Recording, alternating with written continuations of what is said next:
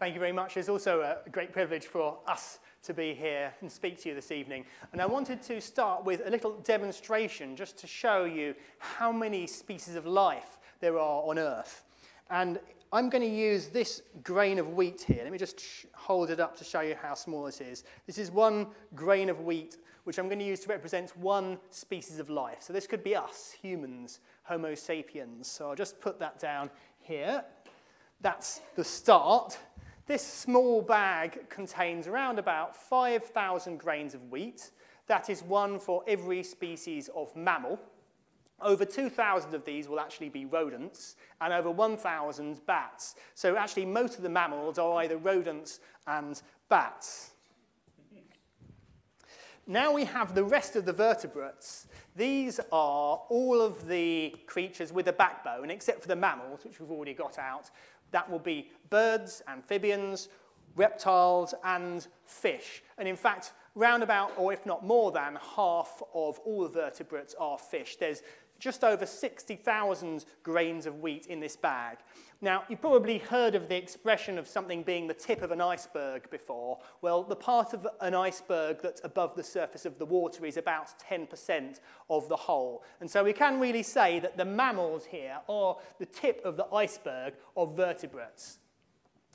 Even the idea of them being the tip of the iceberg is a point of view of perspective, but from us being mammals ourselves, we could just as easily be on the underside of the iceberg somewhere and put the nutty snailfish on the top, which, by the way, is a real species, not one I just made up. And there are many really crazily named species out there, but I must move on to the fungi. There is approximately quarter of a million grains of wheat in this sack corresponding to quarter of a million described species of fungi. And I say approximately, not just because I didn't count them all out one by one, but also because rather embarrassingly, in science, quite apart from there being many species that we don't know about, none of which are represented here, we don't even know how many we know about because there's no central database, there's no acknowledged place where every new species must be recorded. They're all just out there in the scientific literature and not collected together, and that's actually a real problem. What is in this bag of fungi? Well, quite apart from the mushroom-producing fungi, which might be the first that you'd think of, also in here are lichens and yeast, without which we wouldn't have bread to eat and we wouldn't have alcohol. So this is an important sack of uh, species of life as well. The next group gets a bit bigger, the plants. 390,000 species of plants here. And I'm going to put them down uh, not next to the fungi, actually, although we used to think that the plants and fungi went together as a nice little pair. Actually, we now know that they, they, they don't go together so well. In fact, we are more closely related to fungi than the plants are. So I'm going to drag the plants right the way over here to represent that. In fact, plants are more closely related to malaria, the parasites, than they are to fungi. Now things get really crazy because here, just check I've got the right one. Oh dear, dear. Right, here we've got 930,000 grains of wheat corresponding to all of the insects. So many I couldn't even fit them in one sack. So this smaller sack here is quarter of a million butterflies and moths just on their own. There's about 220,000 beetles as well in there, by the way. And, oh, these are the ones that I forgot about that we haven't mentioned yet. This is a complete mix of things, uh, including amoebas, other invertebrates that aren't insects, of which there are many hundreds of thousands. And I've actually also included bacteria in here, although bacteria are a bit strange because although there are a certain number of them that scientists have named, it's not really clear what we mean by the idea of a species when we talk about bacteria. So there we have it all laid out, approximately 2 million grains of wheat corresponding to 2 million species of life on Earth. how on earth could we categorize and get to understand such a magnitude of just the bits of life that we've discovered so far, which is even that is a tiny proportion of the whole? Well, over to Yan to talk a bit about that. Thank you, James. Well, um, we're here in the Linnean Society, right? And this is where Linnaeus's original collections um, have ended up. Um, and Linnaeus is famous for uh, coming up with a system of classification uh, for all life on Earth. I'm not sure he realized quite the magnitude of the task. Linnaeus is up there. Sorry, Linnaeus. There's, um, there's quite a lot of them still to go. Um, uh, and I'm sure you all know something about the Linnaean system, which uh, describes species and then has, has so, so Homo sapiens, we're a species, we're in a genus, Homo, uh, we're in a family, Hominidae, and we're in the mammals and so on. And this is what you might call a hierarchical system of classification. So you have something nested in something else, nested in something else. Um, we are talking here uh, about the, the tree of life, but Linnaeus never actually thought about this as a tree, although it's not uh, a very large jump to think of a hierarchy in terms of a tree. And in fact, still while Linnaeus was alive, um, the naturalist Catherine the Great well, I'll quote him. He said, um, the system of organic bodies, i.e. species, um, is best of all represented by an image of a tree. And he goes on to talk about like a large side branch of insects, and, and below the quadrupeds, the tree would put forth birds as an equally large, side branch and stuff like this. So, so the idea of representing Linnaeus' system as a, as a tree isn't terribly um, difficult to imagine. And in fact, uh, just after Linnaeus died, uh, someone uh, an obscure botanist called Augustin Augier, Augier came up um, with this uh, picture of the classification of plants. What's rather nice is it looks like a plant, doesn't it? And it is uh, a system of classification of plants.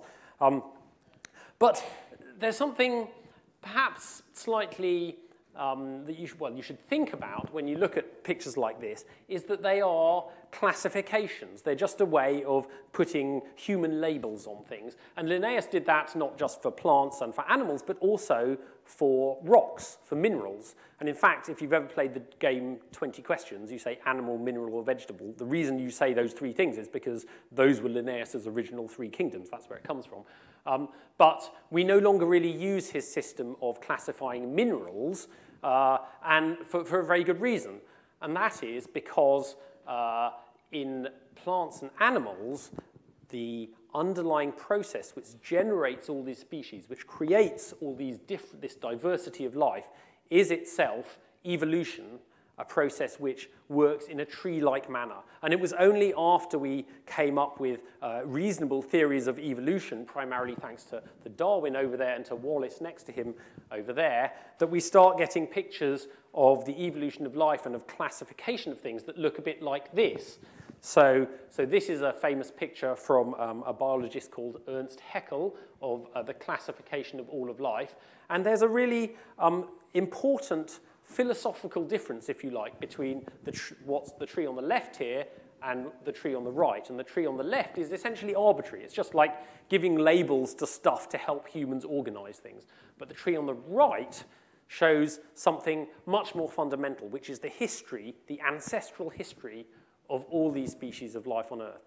And that is actually a very, very important distinction. And when James and I started out on this project, so uh, we, you will find found some cards hopefully on your, on your seat, um, which talk about the OneZoom project. We, about six years ago, um, came up with this idea, or James primarily, of trying to represent all uh, living species, all 2.2 million that we, that we have there, of life on Earth, on a single web page, but also show the historical links between them. So we are interested in showing what's called phylogeny, the history of life, the thing on the right-hand side of here, not just a list, a classification of things like the tree on the uh, left-hand side here.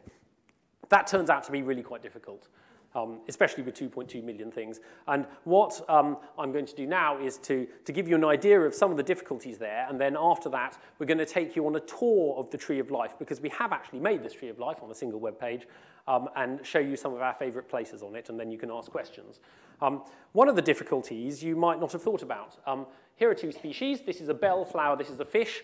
Um, does anyone know what they have in common? Any guesses?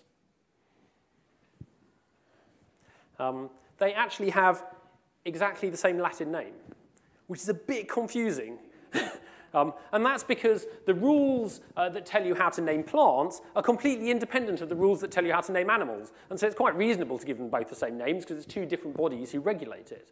And so you do have some species which have exactly the same names, which is extremely confusing. And if you were telling a computer, this picture here of this fish is a picture of Centropogon australis, it doesn't know whether to give you a picture of a leaf or a picture of a fish. Um, there are other rather larger problems associated with using names as well, because not only can one name correspond to multiple different species, but one species can have lots of different names as well. Um, these are called synonyms, um, and some of them are uh, there because one was published, say, in Czechoslovakia and another one was published in England and no one realized they were the same species. Um, and some of them are there because one's obsolete and has been replaced. And yet others are still there because people misspell these things all the time. And so there's loads of misspellings out there of names, um, and they sometimes reach, a, a republished under the misspelling um, and it all gets horribly, horribly confusing.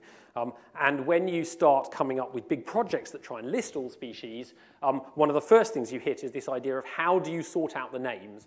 Um, and what you have to do quite often is to use something called a, a taxonomic name resolution service, TNRS, um, to try and cope with all this confusion and to work out whether a name really does refer to a particular species or not. Um, with OneZoom, we very early on decided that we weren't going to do that at all.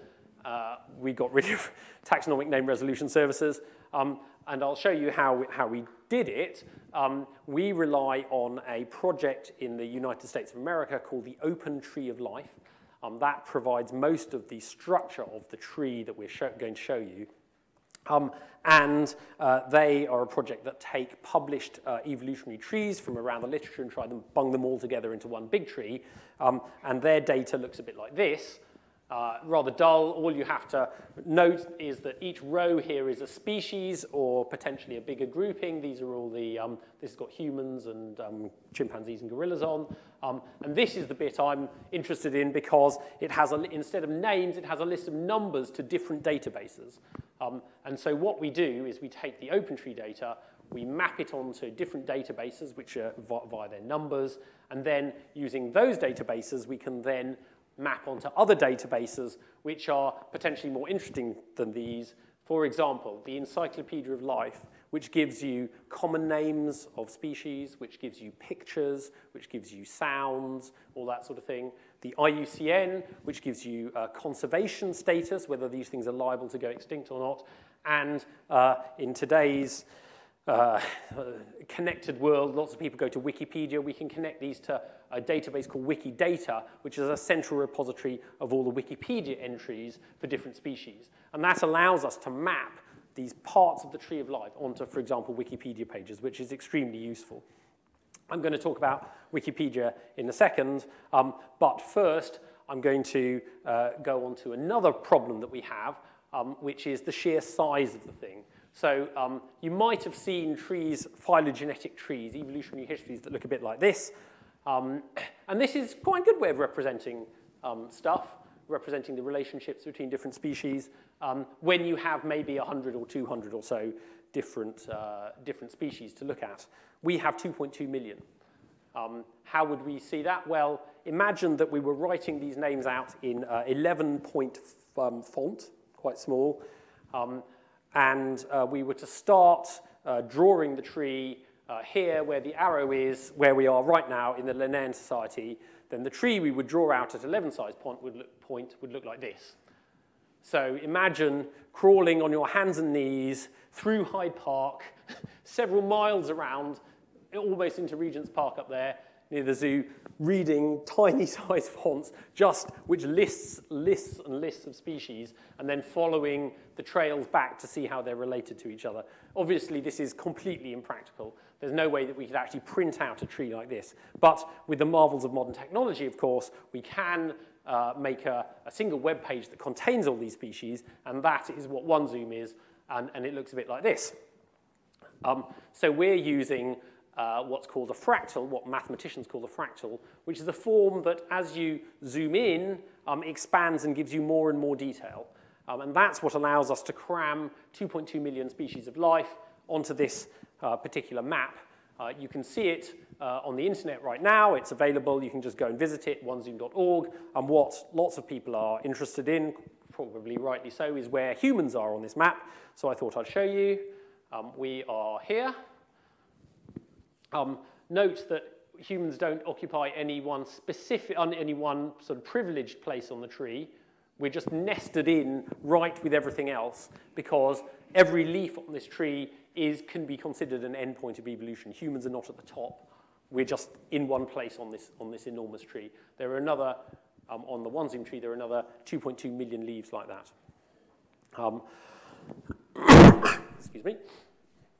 I thought you might like to see a bit of context where we are um, compared to the rest of our close relatives, like the chimpanzees, the gorillas, um, the gibbons, here they are. Okay.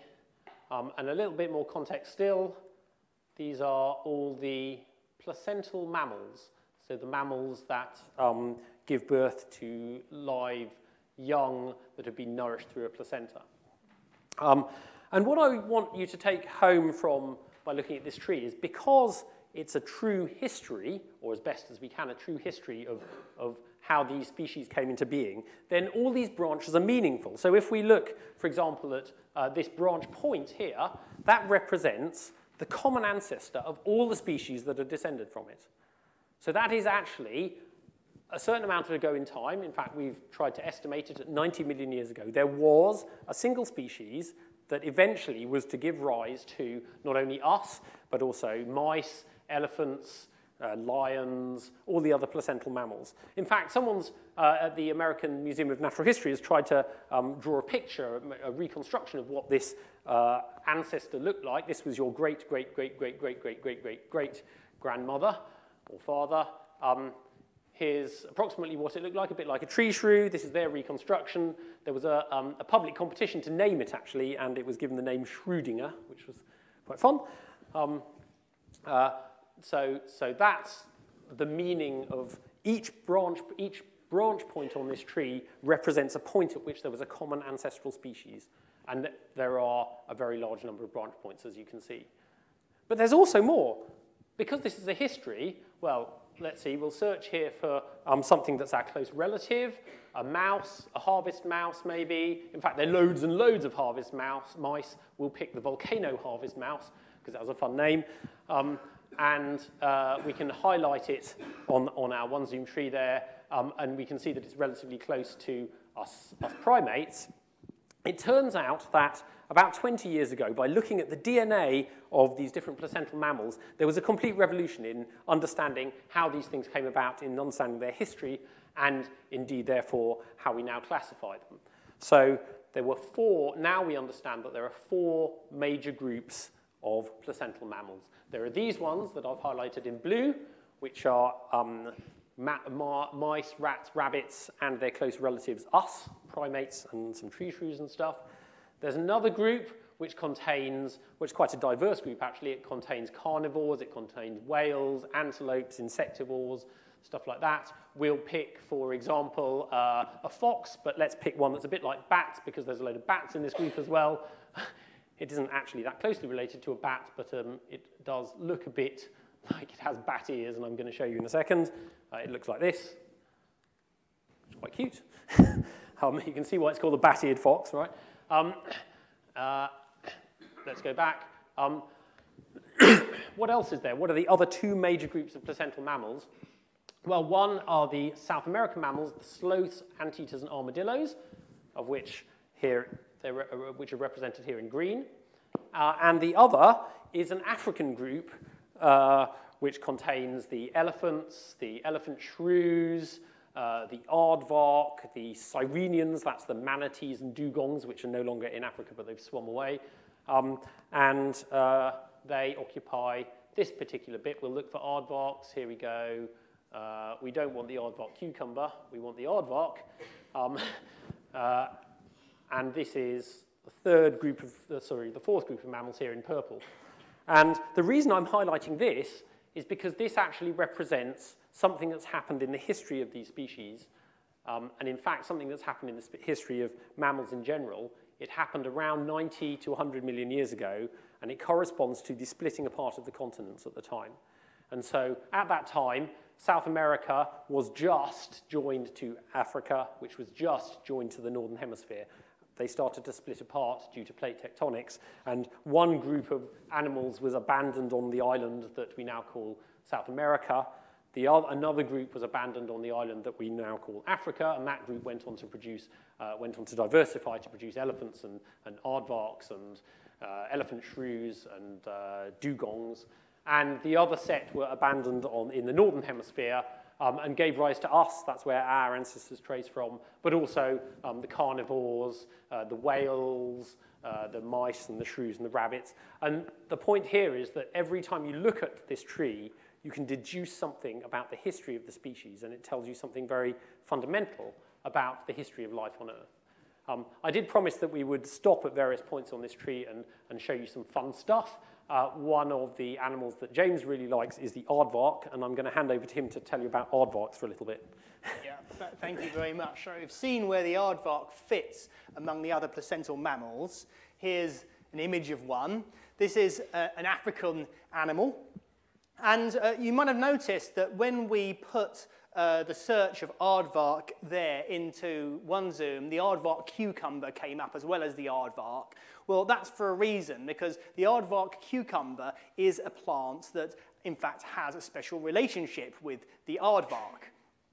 The aardvark cucumber is related to the kind of cucumber that we might eat in a salad, but uh, instead of the fruits growing out in the open, like the cucumber we would eat is, um, instead on the aardvark cucumber, it's that the flowers get pollinated in the open, and then once they're pollinated, they burrow under the ground and they grow into fruits under the ground, waiting to be dug up and eaten by an aardvark. So in fact, this is the world's only underground cucumber.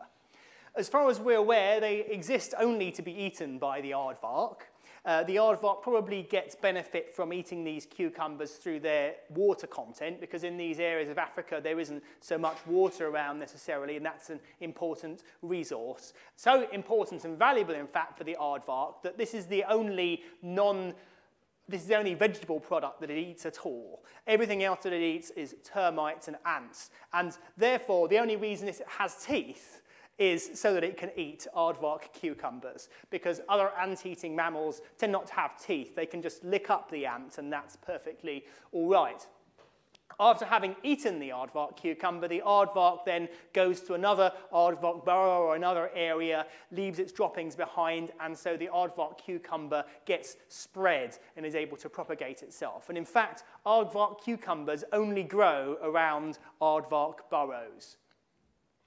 Aardvarks aren't just useful to aardvark cucumbers, they're also useful to many other African animals, including the bat-eared fox, which Yan showed, which uh, often are seen using the aardvark's burrow instead of digging their own burrow. Why not use one that's been dug for you um, for shelter and even for uh, keeping their young? So the aardvark is a really important uh, species for the African ecosystem where it lives.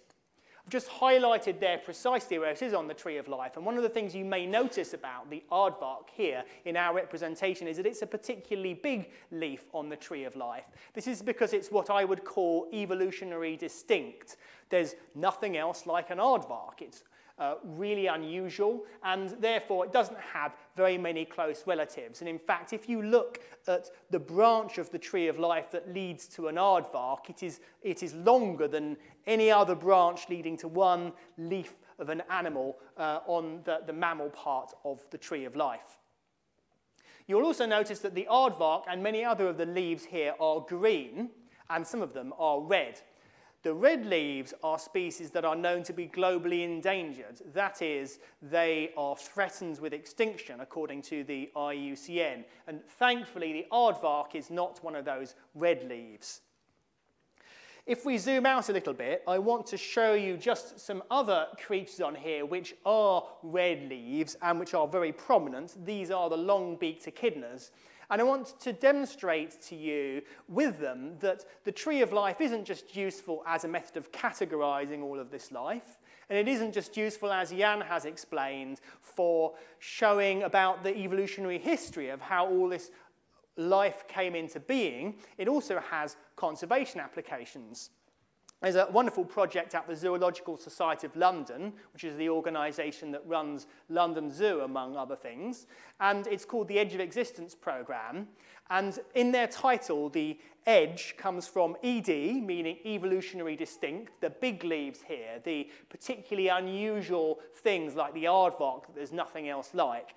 And the GE is global endangerment. And so the EDGE project focuses on the conservation of species which are scientifically shown to be unique and in need of help, perhaps forgotten by more conventional conservation approaches. And these three red leaves at the top there are the long-beaked echidnas, which are remarkable because like the other um, monotremes in their group, they actually reproduce by laying eggs that's uh, the, the aardvark and the end of this part of the presentation. I would now like to pass over to Yan, who'll demonstrate one further utility of the tree of life in calculating what species on there we would consider to be the most popular. Yeah, so um, I've done something that I don't think anyone else has ever done before, um, which is to work out for all the species of life on Earth how popular they all are uh, with us humans, um, which okay, is somewhat arbitrary, but also is potentially useful for um, conservation, for understanding if people are interested in things just because they happen to be popular, or if, we, if we're conserving them, for example, just because they happen to be popular. Um, it's quite a big task, right? It's quite a big task to give a label, a number on 2.2 million species to say how popular, popular they are. Um, but I can do it, and I can do it because of some of the work that's gone on behind OneZoom. so, for example, if you go to the OneZoom website and you uh, click on any one of these leaves, if you click on the, if you zoom in and click on uh, one of the pieces of text, you will pop up a box a bit like this. Actually, you'll pop up one in English, but this just goes to show that um, uh, if you were running a, a, German web browser, it would pop up in German and, and, and so on. So we have multiple language translations for OneZoom. Um, this is the Wikipedia page for the seven-spot ladybird uh, in German. Uh, if you were to uh, visit the Wikipedia page and you were Scottish, you might get the one in Scots. I didn't even realize there was a Scots Wikipedia, uh, which has a scientific classification, which is presumably what you say in Scotland. Um, uh, and uh, what I want to point out here is that uh, there are things about these two web pages, these two almost identical pages for the same species in different languages that are the same regardless of the language. And that's these two bits here, which are what are called the taxobox, the taxonomic classification. And from that, we can extract information that's true across all Wikipedias. Um, and it's that which allows us to map, uh, and, and this gets extracted into a database called Wikidata, which I mentioned before, and it's that that allows us to map any individual species on our tree to the Wikipedia page in whichever language you happen to choose. Um, and indeed, it's that that allows us to calculate popularity. So this, for example, is the number of visits to the English language Wikipedia over 12 months um, to the page on the seven-spot ladybird. Um, so the graph is the number of visits. The value there um, is the page size, the size of the page. And to get an idea of how popular this particular species is, I just combine them together using a mathematical formula that you don't really need to know about. We just multiply them together and take the square root. Um, and that gives you a value for how popular the seven-spot ladybird is. In this case, the value for during October 2018 happens to be um, 3,000, but it doesn't really matter what it is. Um, however, there's a problem with this because probably most people don't realize that there are very large numbers of species of ladybird. They probably just think there's one ladybird, right? You talk about ladybirds, you just think of a ladybird. You probably think of the seven-spot one. But in fact, if you go to OneZoom, you can see that we have 1,200 species of ladybird. Um, how do we incorporate the fact that when people talk about ladybirds, they probably think of this seven-spot one, but there are a whole load of other ones as well? Well, we can do that by, again, going to, going to OneZoom or, or going to the database that drives OneZoom and looking at the popularity of uh, not only the seven-spot ladybird, which is in blue here, but the genus of ladybirds, which is called Coccinella, which is in green here, which obviously people don't look at very much, and the ladybird family, the Coccinellidae, which is actually looked at even more and is of a bigger size than, uh, than the seven-spot ladybird itself.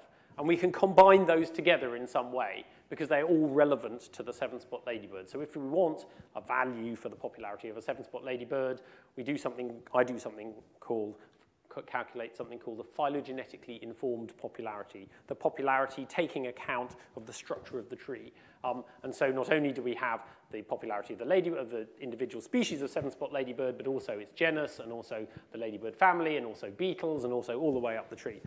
Um, actually, there's something more we have to do too, because here's an example for uh, the grey wolf.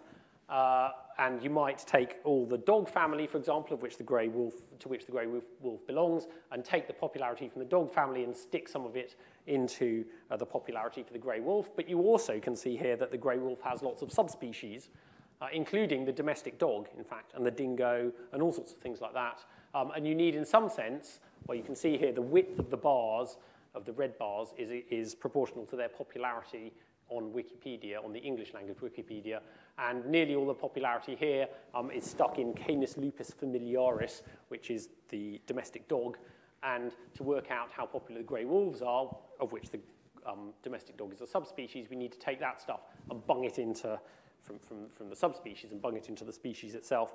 And that's essentially how I calculate um, you don't really need to look at this slide very carefully, but you need to say, all you need to take account of is the fact that we take all the ancestors, popularity of all the ancestors, and of all the descendants, and bung them into the popularity of, in this case, the, the grey wolf. Um, so that allows us, for example, well, not only to calculate the top 20 species, which I'm going to show you, but popularity for every single species of life on Earth, even those that don't have Wikipedia pages, because they, nearly, they all have pages above them as well. Um, I thought you might be interested to see what the 20 most popular species calculated according to me is. Um, uh, these are the uh, numbers 16 to 20 is the red fox at number 20, blue whale, uh, black bear, uh, uh, sorry, puma, and coyote. I think these last two show that actually lots of people are visiting these Wikipedia pages from America, and so they're looking at American species. How about the next lot? Uh, cheetahs, lions, tigers, all those ones you might expect, big cats, uh, polar bears, because they're cute, and pandas. Um, anyone any idea about what the 10th most popular species might be? Guesses? Snake. Snakes. Uh, us, because we're, right, we're, um, we're species two. We happen to be the 10th most popular among ourselves, hilariously. Um, uh, cats, next despite all the internet videos of cats, they're only at number nine. Um, uh, and then a couple of species of gorillas. I think the, the preponderance of primates and great apes here probably goes to show that lots of people look at Wikipedia pages about, about great apes and about apes. Um, and the orangutans, um, chimpanzees, but then the brown bear, because they're cuddly. um, then the bonobo, and finally, what do you think the most popular one is according to this calculation? Come in. You, yeah? Oh, very good. And this is where they are on the tree of life, on our tree. There you go. So I thought that's just a nice, interesting thing that you can do once you get this sort of data. You can calculate all sorts of exciting things like that.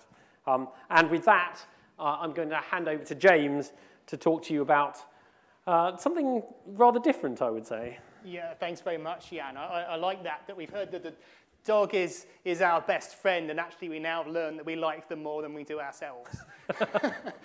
anyway, now Yan has shown us all of the popular things on the Tree of Life. I'm going to show you something quite different. In fact, I'm going to talk about disease. Uh, but not a disease that affects us humans. This is a disease that was of particular interest to Linnaeus here because this disease creates beautiful and valuable jewels, pearls. You may think that pearls only come from particular oysters, but actually every mollusk that produces a shell can produce some kind of pearl.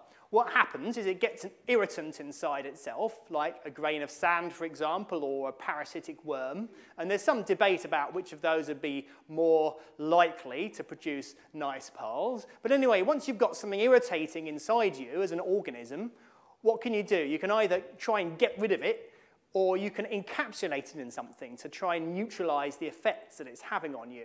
And if you're a shelled mollusk, you already have an ability to coat the inside of your shell with a very strong, hard coating to protect yourselves from predators. And therefore, you've already got a perfect mechanism to neutralize anything irritating that's inside of you. If you are the kind of mollusk that has a shiny iridescent coating on the inside of your shell, like an oyster, for instance, then your pearls that you create through just trying to stop something irritating have that same iridescent coating around them. Something that's iridescent, incidentally, means that depending on the angle that you look at it, it appears to be a different color. And that's why we see these amazing uh, colors in pearls that can't really be reproduced, actually, on a computer screen.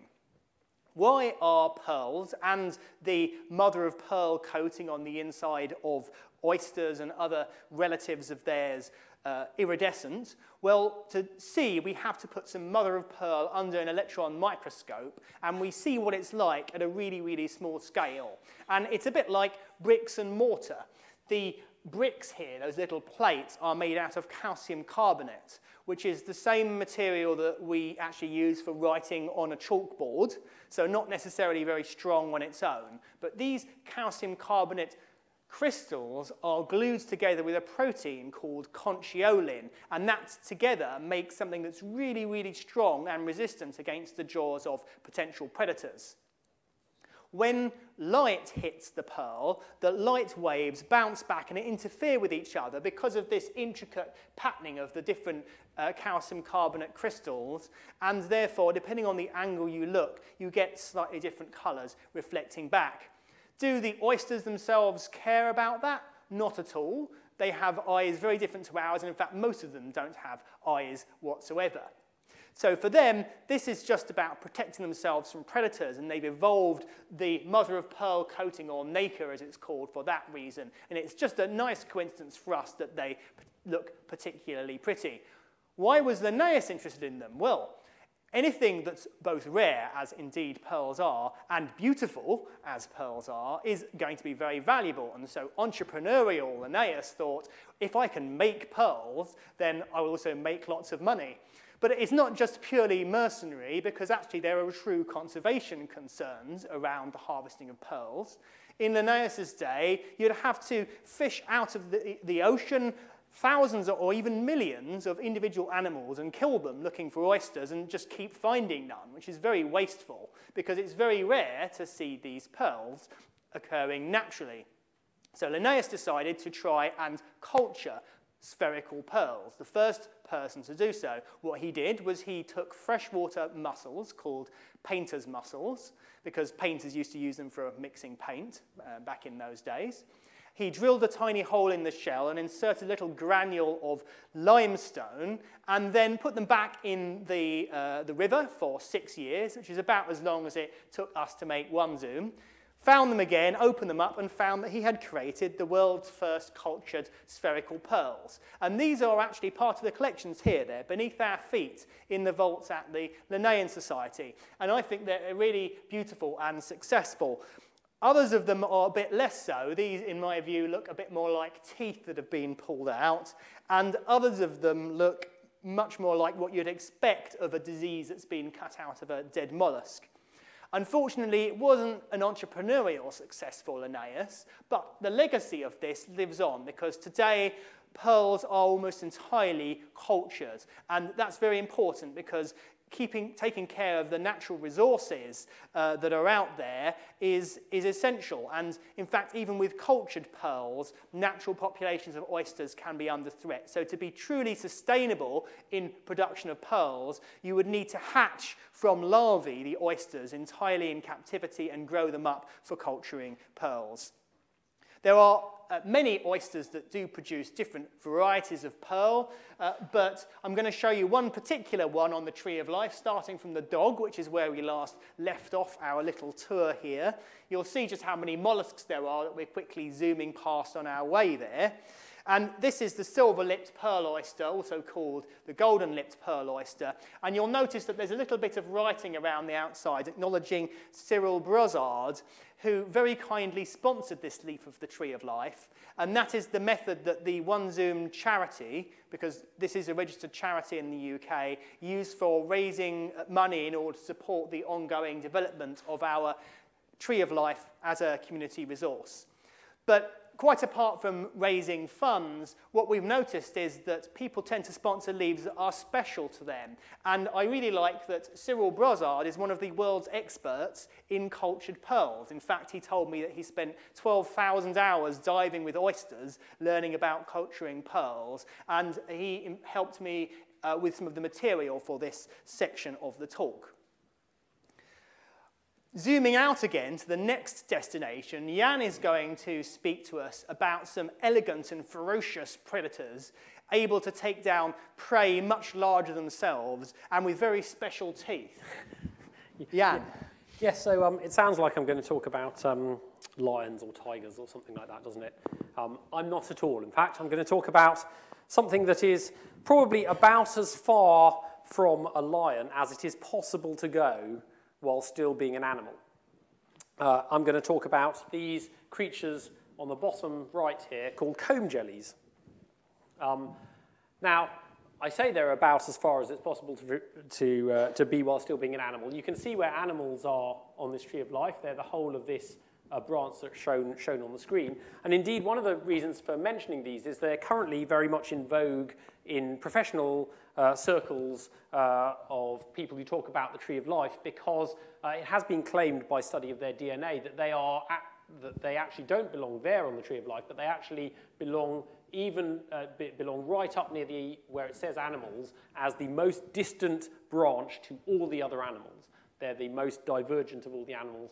Um, there was a paper published this week in Current Biology that claims that uh, actually that's a bit of a mistake and they do belong where we've put them here on OneZoom, which is a bit of a relief to me and many other people who uh, have quite rightly pointed out that they have nervous systems and muscles and even primitive eyes, which sponges don't. Um, and so it seems quite likely to me that sponges still are the most distant animals, as you see here on the top of the, top of the tree in comb jellies, which are not, by the way, jellyfish, but are their own thing, um, belong there on the tree. Why are they so interesting? Well, um, let me show you a, uh, what they look like. Uh, for a start, they're amazingly iridescent. James was talking about iridescence in pearls. These uh, creatures are iridescent because they have these rows of combs uh, that they use to move around the place. You can see them on the back of this creature here. Um, they just look like glowing disco balls, right? They're really, really quite amazing. Um, and they're iridescent because the combs are, because the hairs on their combs are so fine that they diffract the light. They are also, as James pointed out, voracious predators. This doesn't really look like a voracious predator, does it? Until you realize it's like a big plastic bag with a mouth. And the mouth is the white thing at this end. Um, and uh, although they don't have hard parts, they nevertheless manage to glue some of their hairs together into little pointy spikes in their mouths, which make teeth. Um, and they can also engulf, do the rather amazing feat of engulfing animals that are larger than, than themselves, which I'll show you in a little video here. Here's one of them. Um, you'll see another one soon. Um, they eat each other, um, other species of comb jelly. Here's one It's doing quite well there, isn't it? um, and they can, they can seal their lips together by these little intracellular um, links between the very cells themselves. So although they don't have muscles in their lips, uh, they can nevertheless seal them, making sure that nothing escapes, and take chunks out of them using these sort of teeth that they've constructed. Um, here's another one. There's another ctenophore uh, on the right of the diver here. It's called Venus's girdle. Um, it looks pretty large. I'm not, I think that some of that's perspective, but they do get to bigger than two meters. This thing is like one enormous flying wing. The way it moves is it moves sideways through the water like this, collecting food along the leading edge. It feeds that food into its central uh, sort of digestive tract, which is the white thing along the middle of the organism, and then it comes out through multiple anuses in the back edge, um, and, uh, and it flies along using its um, uh, using its uh, beating hairs that these comb jellies are famous for. But then when it's frightened, it can swim sideways like a worm and curl up like this, um, uh, which is, again, a rather extraordinary feat. I really, I rather wish I've seen, I'd seen one of these in its natural habitat. I, I haven't and probably need to do a bit more scuba diving. Um, here, here are some more of them. If you zoom in on OneZoom, you can see a selection of different species. You can see Venus's girdle on the right there. You can see Beroe, that was the species that was eating other things on the bottom row. Um, and you can see two other rather amazing things on the bottom left and bottom right, um, which are worms. So these are uh, ctenophores, comb jellies, which have independently invented being a worm. Normally, comb jellies float around in the middle of the ocean. These things stick onto um, starfish or onto seaweed, um, and they have these long tentacles that drift out the back uh, that are sticky that catch prey, um, and they've independently involved this different way of being, which, like other worms, like us, we're derived worms, and other parts of the animal, uh, animal kingdom, is actually quite a successful way of life. There are only 150 species of these things. I think they're rather remarkable animals, and very few people actually know about them. They're also extremely beautiful and um, extremely voracious, and I think um, all of those uh, as well as conservation concerns, because some of these get accidentally transported around in ship ballast tanks, released into places like the Black Sea, where they then completely um, uh, savage the uh, local populations of small fish. Um, as, for all those reasons, I think this is a, relatively unexplored part of the tree of life that most people don't know about, which is really worth talking about. And that's why I wanted to mention it here. Um, James is going to talk to you about one of his other favourite places, which again is, is, I think, rather different. And it's a place that Darwin, I think, would have been proud of.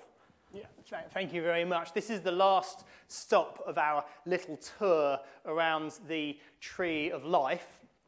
And the setting for it is the rainforests of Borneo, where a little carpenter ant, just imagine, this is probably going on right now as I speak actually, a little carpenter ant uh, is emerging from her nest to go hunting. And she walks along a narrow path to a special pool where she normally hunts. And she waits around the side of the pool for something special to happen. Eventually, a big juicy cockroach or another insect or something that the our carpenter ant might like to eat falls into the pool, and this is her moment. So together with her fellow worker ants, she jumps into the pool and swims, which is very unusual for an ant. She swims firstly with three of her legs and then with the other three. And over a period of time of up to 12 hours as a team, they get this poor cockroach or other prey to the side of the pool and drag it out and share it among the other ants in the colony. If there are no cockroaches to be had, then the less preferred prey would be something like a mosquito larvae living in the pool. And the method they use for hunting these is in pairs, where two of them would jump into the pool and they would herd them like a pair of sheepdogs herding a load of sheep to the side of the pool. And then one of them would get out and try and pull out or fish for these mosquito larvae to eat, which from observation is not a very successful, but it must occasionally work, otherwise they wouldn't bother doing it at all.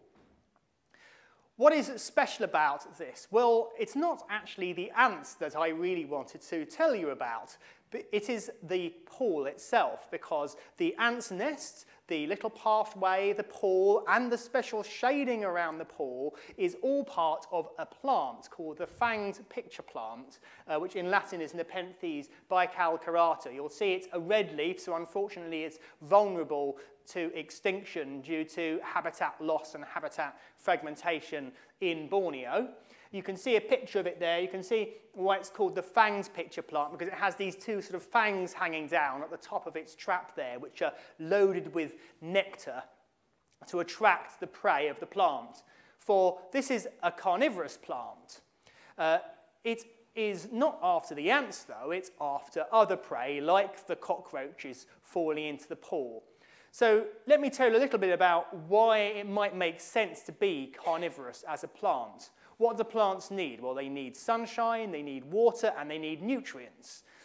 If you're in an area like a tropical forest where the sun is beating down or beating down enough and you've got absolutely masses of water everywhere, then what might you be lacking in? You're lacking in nutrients. And therefore, it's possible to do quite extravagant things that are very wasteful of energy because you've got photosynthesis from the sun, and very wasteful of water because water's all around you, but you're trying to get that resource that's in short supply around you. Those are the nutrients that your prey, like the cockroach, um, have in them for you to absorb. And therefore, it's worth creating traps to trap insects and other animals to eat if you are a carnivorous plant. This particular carnivorous plant has lowered the acidity in its pitcher, in its pool trap, uh, which it would normally use for digesting the prey that fall in there. But it's done this so as to be less harmful to the ants as they swim through the pool, herding the mosquito larvae. It's also done something else for the mosquito larvae. It's swollen up the stalk leading to the trap so that the ants can make a convenient home close to the pitcher trap or pool itself. Why has the plant bothered to do these things unless it's getting something back from the ants in exchange?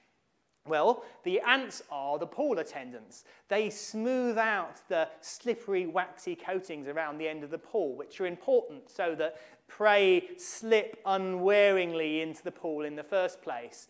So they tend the trap, and also by taking away prey that might otherwise escape, or by removing the mosquito larvae which would otherwise hatch out and fly away, taking the nutrients with them, these ants are helping the plant.